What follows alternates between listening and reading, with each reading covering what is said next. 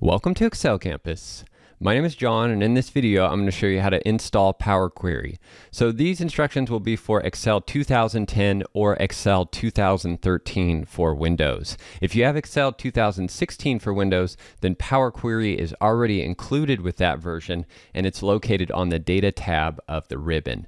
So here I am in Excel 2013 and we're going to need to download the Power Query add-in from the web but before we do that we need to determine what bit version version we have of Excel, 32-bit or 64-bit.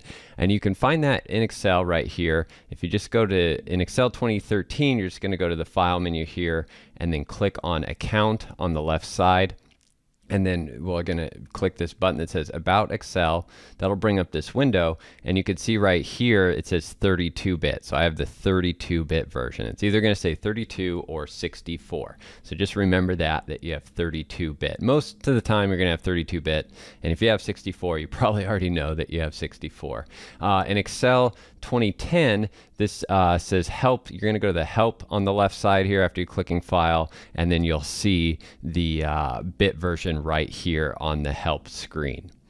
All right, so now that we know that we have 32-bit, we basically just need to go to this site that uh, where we can download Power Query from Microsoft. Now, this site might change in the future, but I'll keep a link uh, updated below the video for this page right here. And right down here, uh, you'll see you can select your language, and then you can click this big orange download button to download Power Query. And now it's going to ask you if you have 32 or 64 bit. There's a lot of jumbled mess here, but right here's what we're looking for 32 or 64 bit. So I want 32 bit because that's the version of Excel I have. So I'm going to click this checkbox and then click next right here and that's going to take me to another page and initiate the download. So it should only take a second to download. You can see it's downloaded right here. So now once it downloads, we'll just need to open the uh, MSI file here to run and install it on the computer. Oh, and one other thing you have to do is close Excel. I forgot that step, but you have to close Excel uh, before you can run the installer. So I just completely close down Excel. I'll go ahead and do that right here. We'll click retry and now we're able to install it. So this is just a basic installation. Just go through the steps here to install it on your computer and then it should just take a few seconds to install. Okay, it took a little more than a few seconds, but it did complete the installation here. So I'm just going to now click Finish, and now Power Query will be installed. So now I'm going to go ahead and open Excel again. And now we have Excel open again, and you can see that the Power Query tab has now been added here up to the ribbon. So clicking on the Power Query tab will show all the Power Query buttons and features here.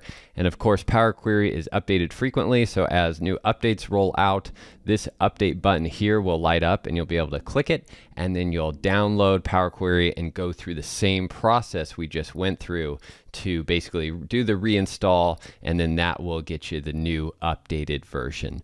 I also have another uh, complete guide on getting started with Power Query. If you haven't used Power Query yet, it's a fantastic tool and I highly recommend checking it out and getting started with it. So again, if you have any questions, leave a comment below and I'll be happy to help answer them. If you enjoyed that video, there are a few simple things you can do to help me out. If you are watching this video on YouTube, click the like button below the video and leave a comment with any questions or feedback. And please don't forget to subscribe to my free email newsletter to get more tips and tricks that will help you learn Excel. Thanks again for watching, and I'll see you soon.